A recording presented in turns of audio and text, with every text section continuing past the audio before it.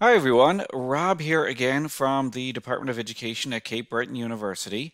And in this video, I'm going to show you how to get into your live class session using Microsoft Teams. You may have noticed that in a number of your course spaces in Moodle for this term, there is a notification posted that says that you are going to be using Microsoft Teams for your live class sessions. In some cases, there may be a time posted when your regular live classes are going to take place, or uh, your seminar sessions or tutorials, or your online office hours with your instructor. In this case, I have uh, a meeting time posted for my class, and I also have a direct link here to get into Microsoft Teams Online. So all I need to do is click on this link here to Teams Online, and I'm going to open this in an incognito window so it doesn't pick up my login credentials. It's going to take me to the uh, Microsoft Teams uh, group chat software homepage. And you're going to need to click on sign in and use your CBU credentials. So this is picking up uh, the fact that I need to log in here. So I'll put in my Cape Breton University email address.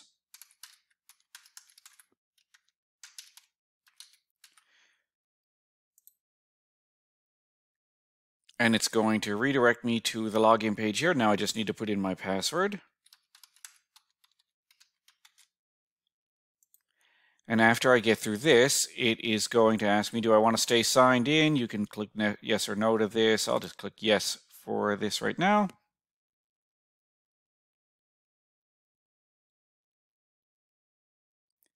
And it will bring me to my Teams homepage. So I have a bunch of different teams that I'm a member of here. The uh, one of these is a departmental team. The rest of these are course spaces.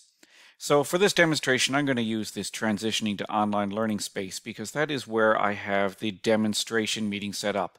So as soon as I click on that, it's going to bring me into my, uh, my activity page here for this course.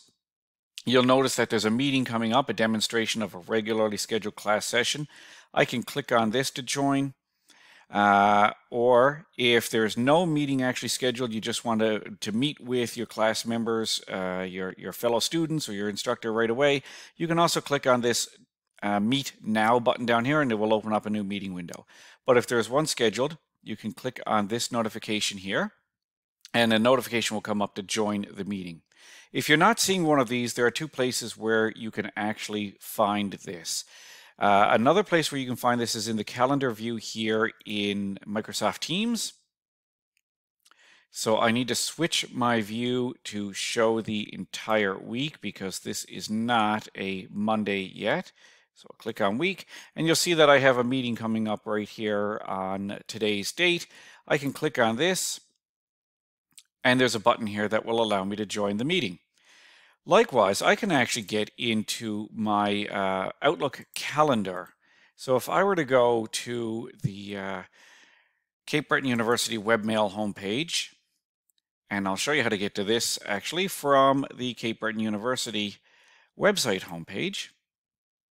If I were to click on login here and click on webmail, Office 365 email, then it's going to redirect me to uh, my email It'll ask me to log in if I need to.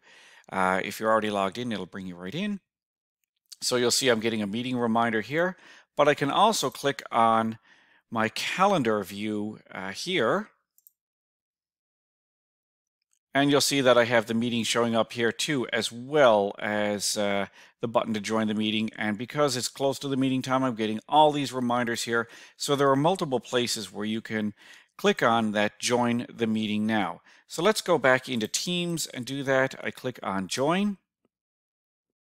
I click on allow to use my microphone and my camera. It's going to launch the class session. I click on join now and I have joined the live class session.